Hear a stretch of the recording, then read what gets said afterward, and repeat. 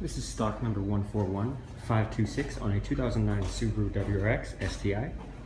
Hatch. And our exterior color today is silver. Interior options include power windows, locks and mirrors, traction control, tilt and telescopic steering wheel, light controls, audio controls, cruise control, CD AM FM radio with auxiliary, and climate control with AC with heated seats, and our interior color today is black. This vehicle comes equipped with 18-inch alloy rims, mud flaps, cargo cover, and a lot more cargo space. Rear options include power windows, 60-40 split bench seats, and you can fold the seats down for more cargo space.